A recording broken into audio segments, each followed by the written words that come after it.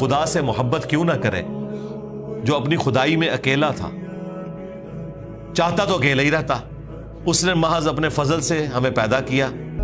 تو میں اکثر سوچا کرتا تھا، یار، کہ اللہ کی کون سی ایسی چیز ہے جس کی وجہ سے میں اس سے محبت کروں؟ میں تو یا اس سے نفرت کر سکتا ہوں کہ مجھے کس مصیبت میں ڈال دیا۔ ظاہر ہے، ان کو بھی پتا تھا کہ وہ جو چھوٹنے والا ہے، ایسے دونوں کے لیے یہی فیصلہ تھا کہ یہ انقریب پھانسی دے دیے جائیں گے۔ کیونکہ اسرائیلی روایتوں میں ملتا ہے کہ ان دونوں نے مل کے بادشاہ وقت کو زہر دینے کی کوشش کی تھی۔ اور محبت کی ہندی چلے جینو جی Hindi. Welcome back to the channel I am your host and missing and you are watching Punjabi reel TV so اج آپ ریئیکٹ کرن لگے ہیں ایک علی مرزا صاحب دی ویڈیو جی دا ٹائٹل ہے money god so let's watch it together and ਦੇਖਦੇ ਹਾਂ ਕਿ ਅੱਜ ਦੀ ਵੀਡੀਓ ਦੇ ਵਿੱਚ ਆਪਾਂ ਨੂੰ ਕੀ ਕੁਝ ਸਿੱਖਣ ਨੂੰ ਮਿਲਦਾ ਹੈ ਚੰਗੀ ਗੱਲ ਹੋਈ ਤਾਂ ਰੱਖ ਲਿਓ ਜੇ ਮਾੜੀ ਗੱਲ ਲੱਗੀ ਤਾਂ ਉਹਨੂੰ ਇਧਰੋਂ ਸੁਣਿਓ ਤੇ ਇਧਰੋਂ ਕੱਢ ਦਿਓ ਤੇ ਪਰ ਵੇਖਿਓ ਜ਼ਰੂਰ ਐਂਡ ਤੱਕ ਦੇਖੋ ਤੇ ਚੈਨਲ ਕਰ ਲਿਓ ਆਪਣਾ ਸਬਸਕ੍ਰਾਈਬ ਆਜੋ تو میں اکثر سوچا کرتا تھا یار کہ اللہ کی کون سی ایسی چیز ہے جس کی وجہ سے میں اس سے محبت کروں ਅੱਛਾ میں تو یا اس سے نفرت کر سکتا ہوں کہ مجھے کس مصیبت میں ڈال دیا یہ میں جینون بات کر رہا ہوں جس طرح ڈاکٹر اقبال نے شکوہ جینون کیا تھا تو میں یا تو اس سے نفرت کر سکتا ہوں یا میں اس سے ڈر کے زندگی گزار سکتا ہوں؟ محبت کا تو جذبہ کبھی میرے دل میں آئے گا ہی نہیں۔ ایسی ہستی کے لیے جس نے مجھے اتنی بڑی آزمائش میں ڈال دیا سوائے اس کے کہ میں اس پورے پلان کو دیکھوں۔ شروع سے لے کے آخر تک تو میں کہوں گا او یہ تو آزمائش کچھ بھی نہیں ہے۔ اس کے بدلے تو اللہ تعالیٰ مجھے دو کوالٹیز ایسی دینے والا ہے کہ جو اسی کی تھی۔ Number one okay it would be great I think ਬਹੁਤ ਵਧੀਆ ਹੋਏਗੀ ਇਹ video so watch till the end to know and learn something new یہ جناب توحید کی بات انہوں نے کر دی اور پھر اب انہوں نے کہا اب تمہارے سوال کا جواب بھی آتا ہے جو تم نے کوشچن پوچھا تھا نا خواب کی تعبیر دونوں نے پوچھی تھی تو سنو یا صاحب السجنی اے میرے قید خانہ کے دوستو ساتھیو اما احدکما فیسقی ربہ خمرہ تم دونوں میں سے ایک کے خواب کی تعبیر تو یہ ہے کہ انقریب وہ اپنے رب کو شراب پلائے گا۔ یہاں رب سے مراد اپنا آقا یعنی کہ وہ مالک۔ سورہ یوسف میں رب کا لفظ مالک کے لیے بھی آیا ہے۔ اس سے پہلے آپ یوسف علیہ السلام کے حوالے سے بھی سن چکے ہیں کہ یوسف علیہ السلام نے جب زلیخا نے انہیں برائی کی طرف بلایا تو انہوں نے اپنے مالک کی تعریف کرتے ہوئے کہا کہ میں اللہ کی پناہ میں آتا ہوں، جس برائی کی طرف تو مجھے بلا رہی ہے۔ قال معاذ اللہ۔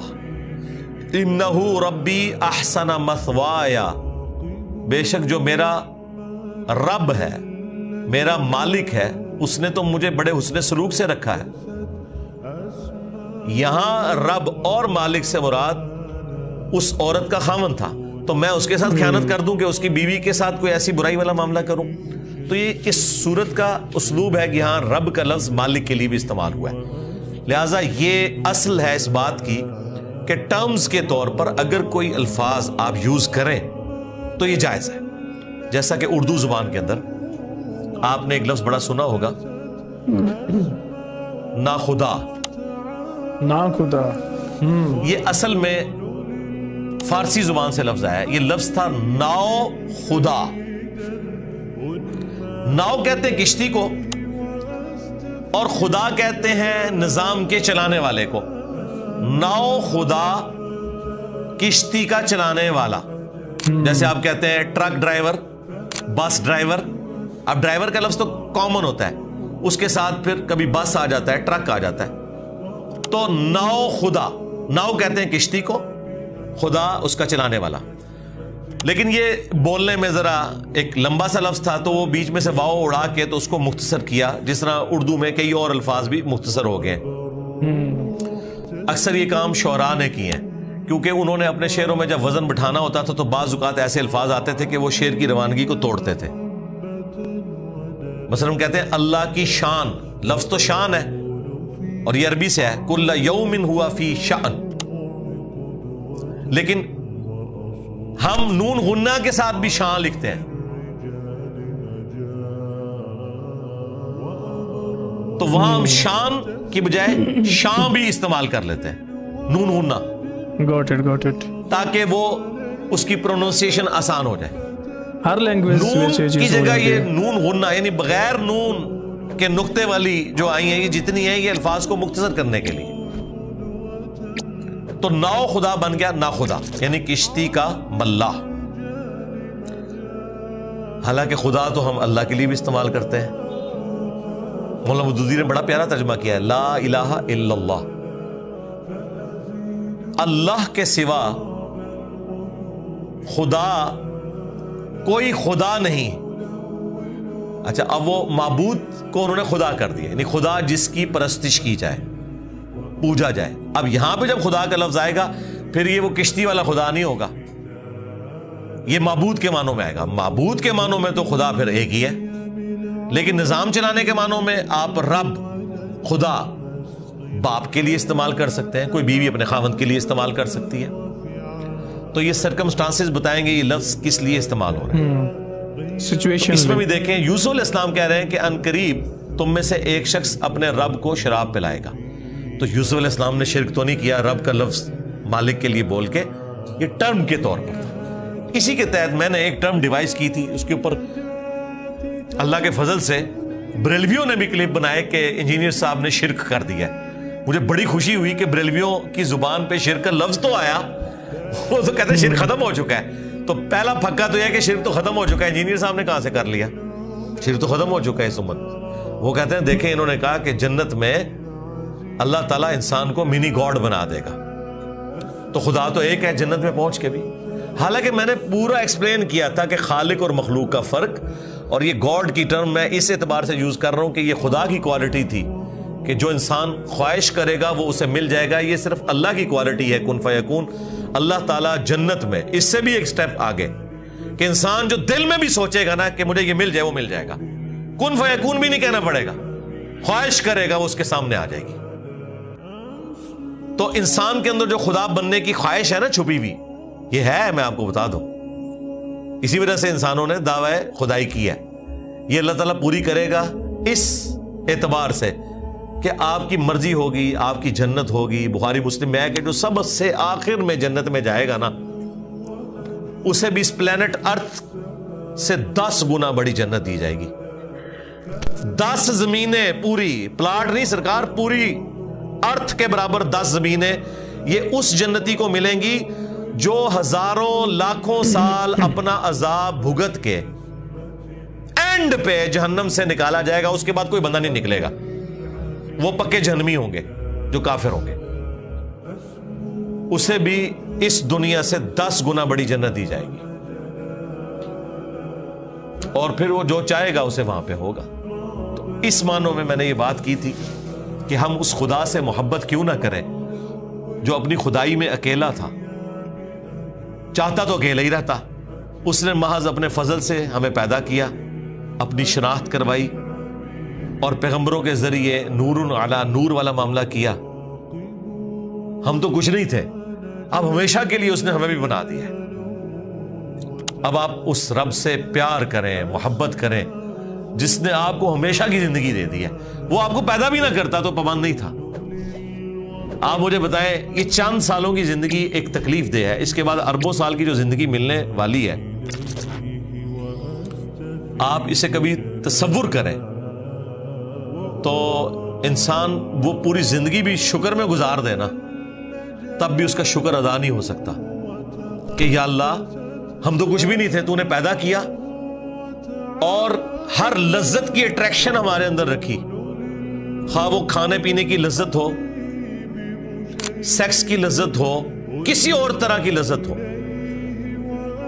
اچھے مکانات کی لذت ہو، اڑنے کی لذت ہو۔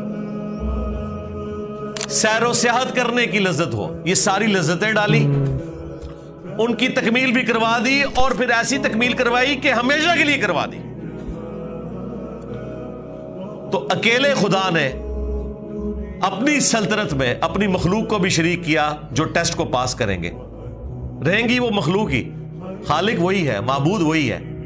لیکن وہ حکم اس کا بھی چلے گا جنت کے اندر جو اللہ تعالیٰ اسے جنت دے گا۔ اور کیا کمال کی چیز ہے کہ اللہ ہمیشہ سے تھا اور ہمیشہ کے لیے ہم ہمیشہ سے نہیں تھے، لیکن ہمیشہ کے لیے سرکار اس چیز کو امیجن کریں۔ اللہ تعالیٰ نے اپنی یہ کوالٹی بھی آپ کے ساتھ شیئر کر لی ہے۔ خالق اور مخلوق کا فرق اپنی جگہ موجود ہے۔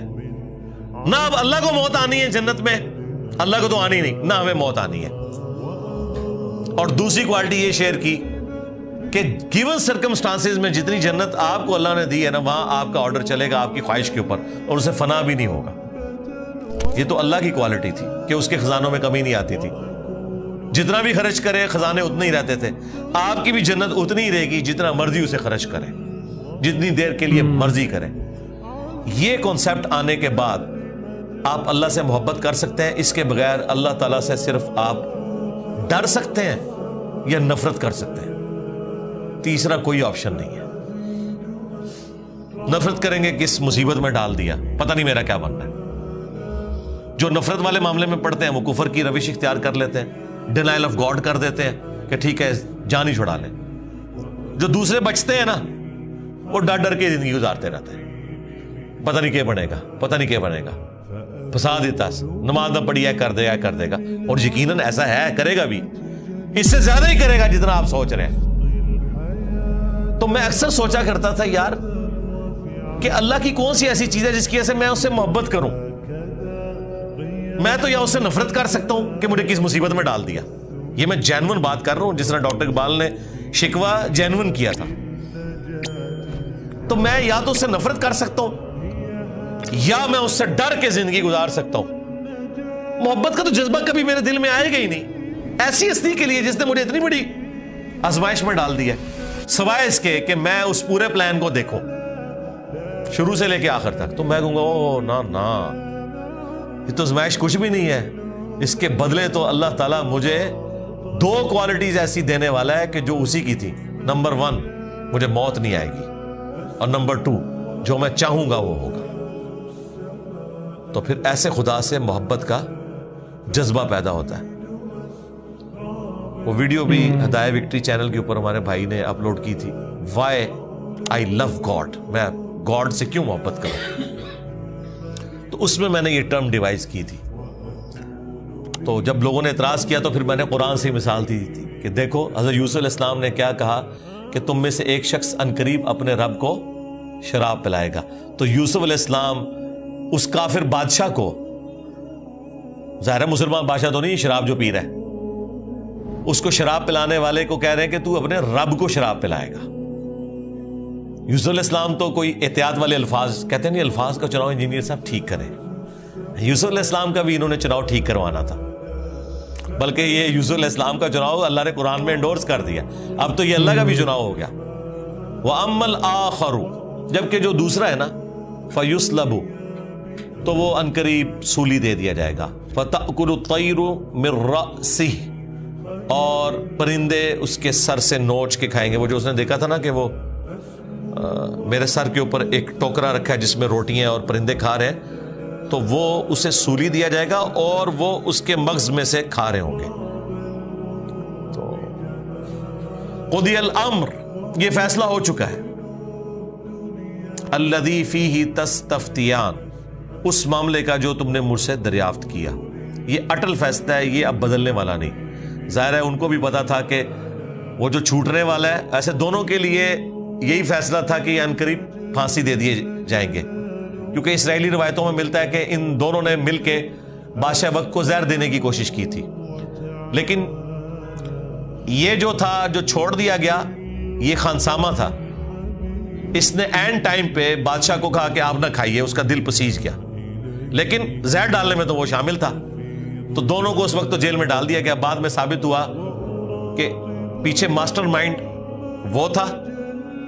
اگرچہ یہ بھی اعلی کار بنا لیکن چونکہ اس نے بادشاہ کی جان بچا لی لہٰذا اسے تو معاف کر کے اسی عہدے پہ بحال کر دیا گیا۔